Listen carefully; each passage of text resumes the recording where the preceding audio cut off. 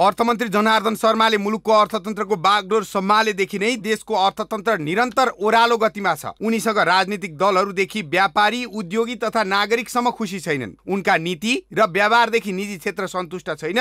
उनीहरूले भनिरहेका छन् अर्थतन्त्रको चुनौतीले निजी क्षेत्रको मनोबल उच्च रूपमा गिराएको छ। पछिल्लो समय बजारमा तरलता अभाव भएकाले उद्योगी थला परेका छन्। निजी क्षेत्रको मनोबल एकदमै खस्केको अवस्था रहेको छ। र यस्तो यस्तो अवस्था मैले पहिला देखेको छैन। हामीले विभिन्न पहिला पनि चुनौतीहरू नदेखेको होइन। भूकम्पमा थियो या राजनैतिक परिवर्तनको समयमा हाम्रो श्रम सम्बन्ध बिग्रेको सम्बन्धमा या भारतले जब नाकाबन्दी गरेको थियो यस्ता किसिमका विभिन्न चुनौतीहरू हामीले देखेका थियौँ। तर अहिलेको जुन चुनौती रहेको छ यो पक्कै पनि यो चुनौती ले अहिले निजी क्षेत्रको मनोबल खस्काएको छ। सरकारसँग मात्र होइन केन्द्रीय बैङ्कको भूमिकाप्रति पनि निजी क्षेत्र सन्तुष्ट छैन। नेपाल राष्ट्र बैङ्कले विदेशबाट वस्तु आयात गर्दा शत प्रतिशत मार्जिनको व्यवस्था गरेको भन्दै उनीहरू आक्रोश पोखिरहेका छन्। साथै बैङ्कको ब्याज बढेर व्यवसायबाट भाग्नुपर्ने अवस्था आएको उनीहरूको गुनासो छ। नेपाल सरकारले चाहिँ एलसी सिस्टम लागू गरेको ठ्याक्कै एक महिनाभन्दा बेसी बितिसकेको स्थिति छ।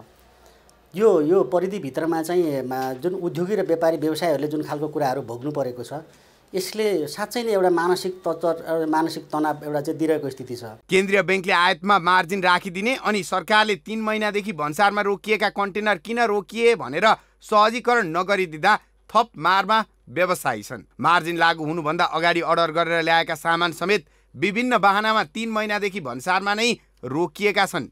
गर्मी मौसमका लागि पाँच महिना अगाडि खरिद गरेका सामान बजारमा आउनुपर्ने भए पनि भन्सार नाकामा सामान रोकिएर बसेको तर सरकारले भन्सारमा सहजीकरण गर्ने काम नगरेको व्यवसायीको गुनासो छ। हजुरको यता केरुङबाट हाले पनि त्यस्तै नै छ। यो भन्सार एकदम या त सरकारले गरेर या यो त्यहाँको कर्मचारीले गरेर या चाइनाले गरेर यो हामीलाई एकदम सहज रूपले वातावरण आउने जाने वातावरण दुईतिरको जताबाट भयो भने एकतिरको भयो भने त अब हामीलाई सहज भइदियो त राम्रोसँग सामान आए त हामीले त बेच्न त पाउँथ्यौँ।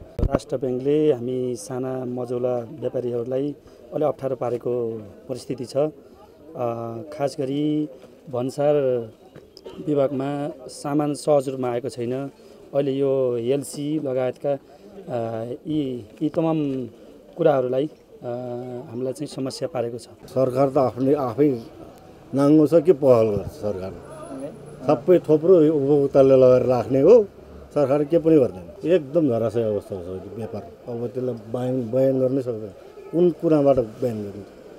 अर्थतन्त्र बचाउन निजी क्षेत्रलाई खुसी बनाउनु राज्यको प्रमुख दायित्व हो। तर राजनीतिको भुमरीमा फसेको अर्थ मन्त्रालय र केन्द्रीय बैङ्कले निजी क्षेत्र खुसी बनाउन सकेका छैनन्। जसका कारण उद्योगी व्यवसायी पलायन नहोलान् भन्न सकिन्न। यसमा सरकारको बेलैमा ध्यान जान जरुरी छ। यो समाचारका लागि दिपेश घिमिरे काठमाडौँ।